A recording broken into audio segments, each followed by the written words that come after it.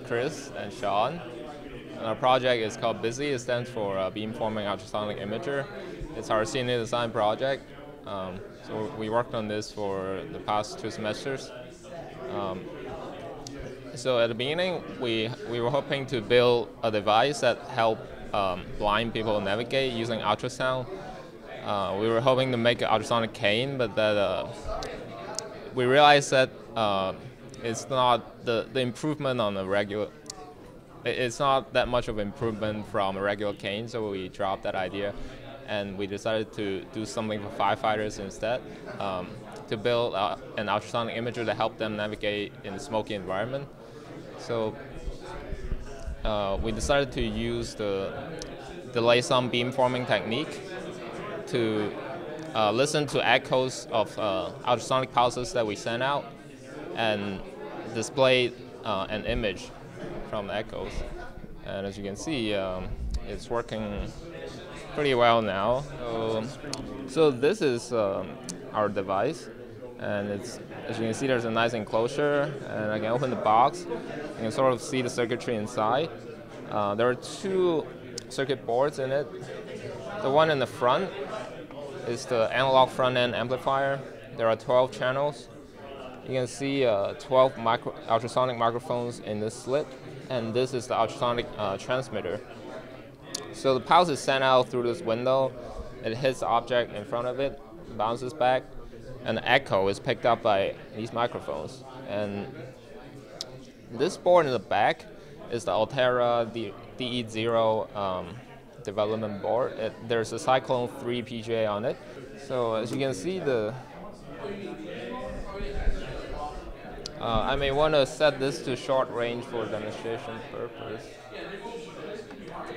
There are two range settings. Uh, right now we're on the short range setting, and as you can see, as I move my my hand around, so that, that's my hand right there. You can clearly see it moving around. Um, the color, it's a, we, we use a hot color map, so uh, it ranges from black to red to yellow to white. So the brighter the dot, um, the stronger the echo is. And we can judge, uh, we can judge the size of the object uh, from, from the color. And yeah, and we use um, a frequency modulation technique to modulate the signal that we send out. So it has a very strong autocorrelation function. So that helps to reject noise and other uh, ambient sound signals from corrupting the image.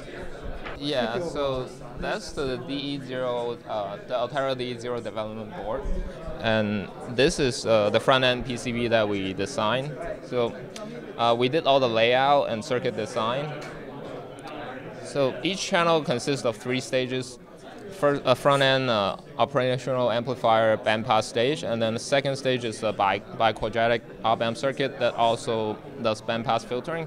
In the end, we feed it into a comparator that digitizes the signal, and that goes into the FPGA uh, GPIO port, and all the signal processing is done there. Um, there are many, many circuit components on the backside of this board, but it's not shown here.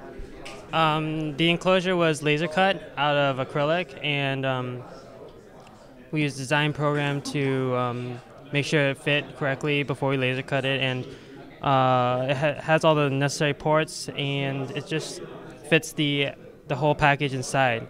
So this is a rendering of the actual device, which is uh, shown here. Yeah, I worked a lot on the on the on the on the FPGA programming. Um, you know, um, working with the creation of the you know input uh, of the of the interface with the with the actual analog front end, um, and you know additionally um, help with you know image generation and um, for the programming of the digital board. So.